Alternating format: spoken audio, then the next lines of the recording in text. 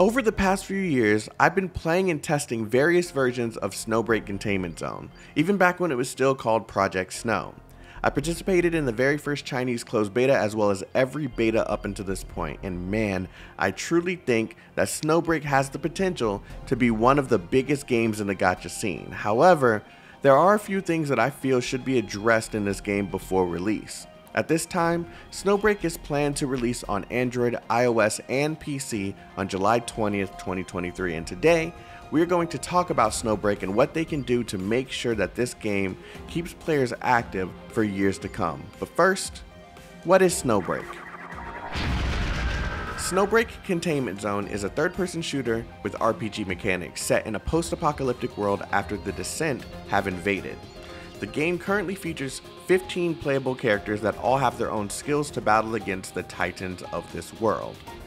Progression in Snowbreak is easy, however it requires a lot of grinding once you reach the mid-game content.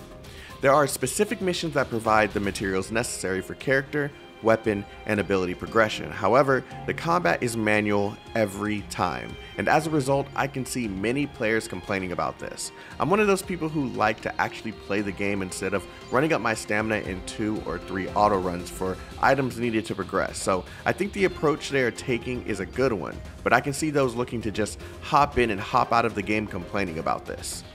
This game is going to be more for those who have time to spare instead of those worried about how a game values the short time that they have, because you'll be playing with different builds and different characters. However, the one issue that I do have with all of this is the stamina, as it feels the stamina is drained really quickly in this game since so much grinding for materials is required to progress forward, and sometimes stamina goes before you can even make any real progress, even with manual gameplay.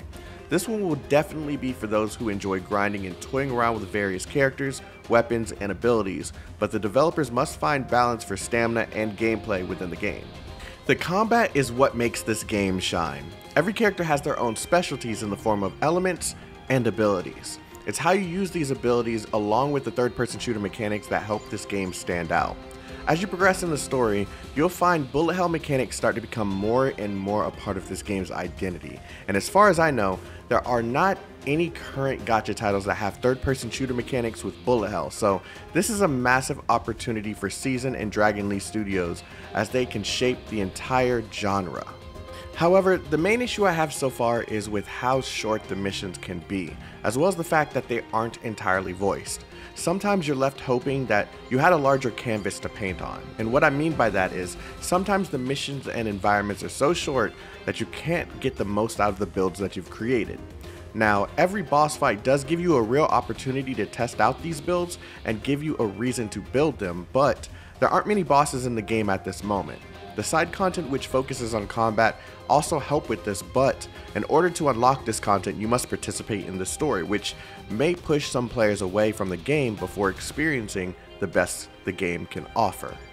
The feedback that I'd give to Seasun and Dragon Lee Studios before the game releases is to make sure that there's enough to do in this style of game. Try to balance out the stamina so that we can spend enough time enjoying what you created, Optimize the mobile version a bit more so the game runs at least at 60 frames per second even in the menus. Increase the bullet hell mechanic so much sooner and condense the amount of tutorial missions to make one or two large missions for players to enjoy instead of jumping in and out of the immersive experience through many stage to stage missions. The game has massive potential and I want to see it realized just as much as you all do. Anyways, this is just my first impressions of the game after well over 50 hours of playing the Chinese and global closed beta tests. I'll have more to say once it releases on July 20th, but for now, I'm going to leave you with some gameplay of the final boss in the closed beta test as the boss shows how much potential this game truly has. Let me know what you think in the comments and don't forget to like and subscribe as well. Have a wonderful day, stay healthy, stay safe, and stay chaotic. Peace out everyone. I can't believe I died that way, man. Ain't no way. Okay.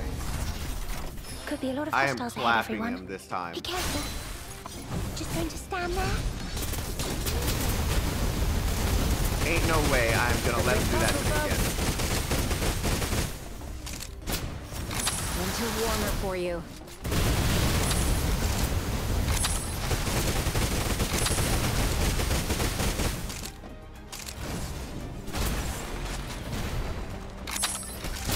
You're a nut. Going to like this. Don't waste it. Are you just going to stand there? Okay, okay, wait. Uh, this is when the, okay. I just, I just gotta run away from these guys.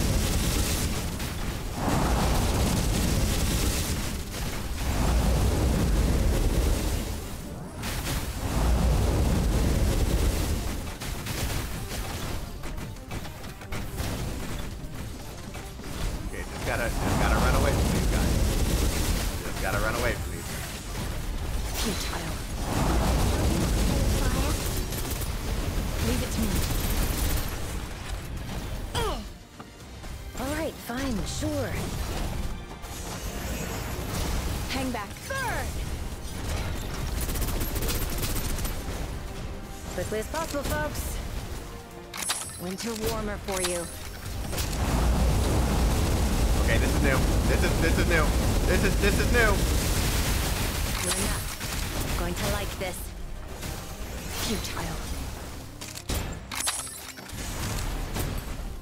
Are you sure and you no one tells you not to play with fire? Okay. Leave it to me. Fully loaded. All right, you're a nut. Going to like this. Okay. Ooh. Okay. From the gods of soul. I didn't mean to waste that entire. He was on the ground and I didn't do anything to him. You're a nut. Going to Futile.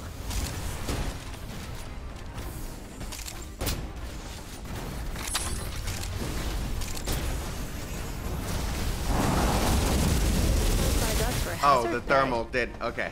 Okay. Okay. Okay. Let's go. Tonight. Let's go. We need more of that. We need more of that in this game.